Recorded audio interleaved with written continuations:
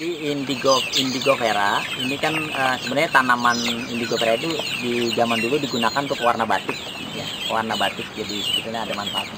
Tapi uh, sekarang penelitian-penelitian terbaru itu melihat potensi indigo vera sebagai pakan sumber protein karena dalam ternak ya baik ruminan, kambing, sapi, domba gitu ya uh, itu faktor protein itu kan penting untuk produksi susu ya baik juga untuk penggemukan. Nah akhirnya di ternak ruminan atau ternak e, sapi domba seperti itu itu udah umum dipakai. Nah sekarang kita coba di e, unggas ya. Nah kita coba di sini e, ayam ya. Jadi kita sebagai pakan tambahan karena proteinnya tinggi bisa sampai 25 sampai 27 persen ya. Makin muda sebenarnya makin bagus ya. Makin daun lebih muda dia lebih bagus Nah, jadi kita pakai untuk tambahan baik untuk tambahan proteinnya maupun untuk mineral dan vitaminnya. Ya, karena juga karena hijauan jadi banyak protein, mineral, kalsium, fosfor lain-lain lah. Nah, jadi kita pakai di sini ayam kampung ini kan agak tahan. Jadi kita nggak pakai lagi vitamin setelah dia kita kasih indigo vera di sini dan sejauh ini pertumbuhan normal ya, normal. Kita pakai dedak dengan komposisi yang agak besar ya, sekitar 70 60 persen. Tambahannya pakan uh, pabrik. Nah, tapi indigo vera ini sebagai imbuhan atau tambahan pakannya. Gitu. Sejauh ini sehat uh, ayamnya. Hmm. Ya, kita ini umur 7 sampai 8 minggu. Hmm. Ya, ayam ayam kampung jenis kampung unggul balitnak yang dilepas oleh Balai Penelitian Ternak di Jawa.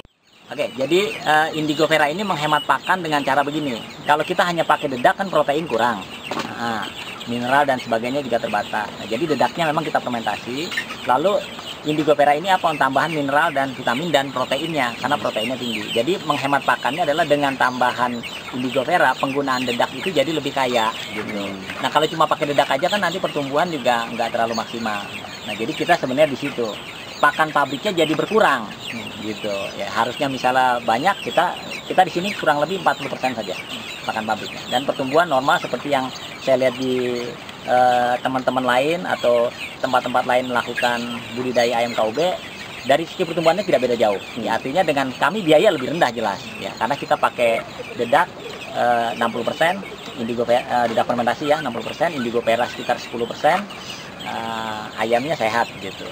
Ayamnya sehat, kemudian uh, kita sih rencana gitu akan naikin persentase indigo peranya mungkin angka 10 sampai 20 persen ya, tapi kita lihat kita akan bertahap lah melihatnya seperti tadi kita juga siapkan yang mau dikeringkan ditepung gitu ya.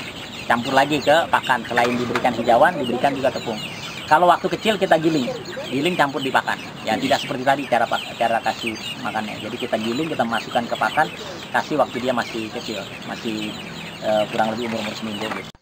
Ya jelas uh, kadar protein itu menentukan sebenarnya salah satu bobot ya. Bobot uh, ayam cepat tumbuh atau tidaknya ya. Jadi sangat menentukan ya uh, jenis pakan yang diberikan nah tapi kan kalau kita mau ayam cepat besar tentu biaya pakannya juga akan tinggi nah makanya kami sih hanya lihat karena ini ayam kampung pertumbuhannya normal ya Nah sebenarnya untuk bobotnya nambah kita harus tambahkan misalnya kayak maggot. Maggot kan proteinnya sampai 42%.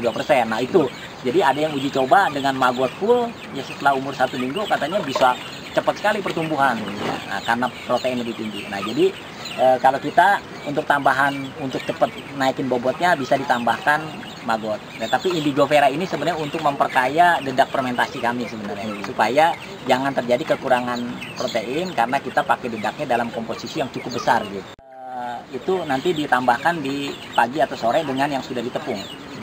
Kalau ini jumlahnya berapa ini? Ini sekitar 160 ekor lah, 150 160 ekor. Jadi setiap kali dia makan butuh butuh berapa, Pak? Butuh untuk yang ini daun. Nah, hitungan kita dari pemberian pakan harian hitungan kita konsentrasinya 10% lah. 10%. Ya, jadi kalau dia 5 10 kilo ya paling setengah kilo sampai 1 kilo uh, ininya gitu. Jadi kita masih berani di angka kurang lebih 10%. Hmm. Sebenarnya mau ditingkatkan, tapi kan pengaruh kalau kalau yang banyak serat kasarnya dan sebagainya ini kan uh, berbahayanya kalau terlalu banyak nanti pertumbuhannya juga terganggu hmm. gitu.